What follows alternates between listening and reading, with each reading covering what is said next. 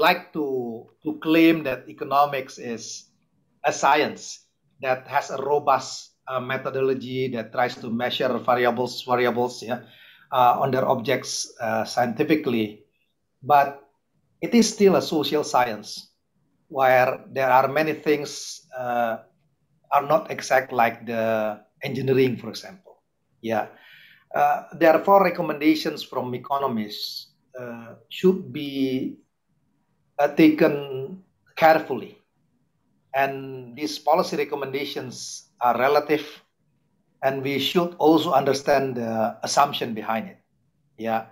Uh, for example my joke is if the institution still in the jurassic park and we provide a policy recommendation like a star wars this is not going to work we have to be very realistic with the situation during my time when I was a, a, finance minister, when I was in the government, I often uh, told IMF or the World Bank that their policy recommendation was really good, you know, perfect.